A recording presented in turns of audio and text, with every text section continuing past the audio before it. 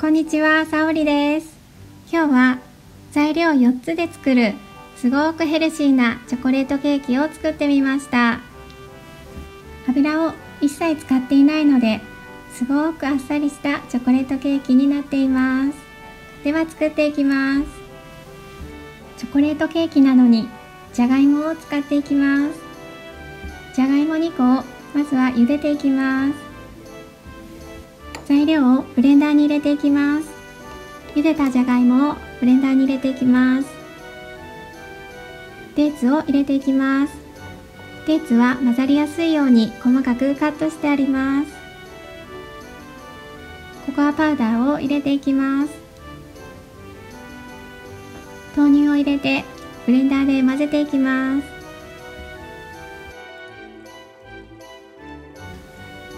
デーツとじゃがいもの粒がなくなるまできれいに混ざったら型に開けていきます。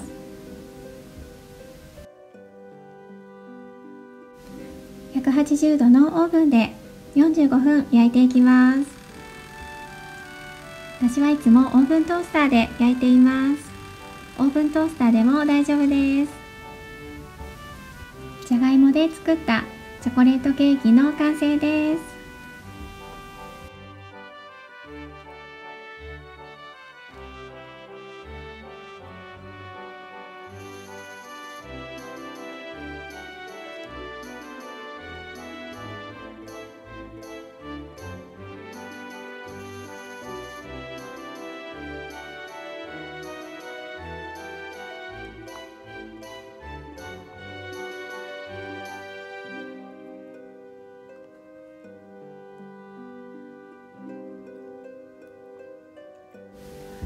食感はチョコレートムースのような少し柔らかめになっています。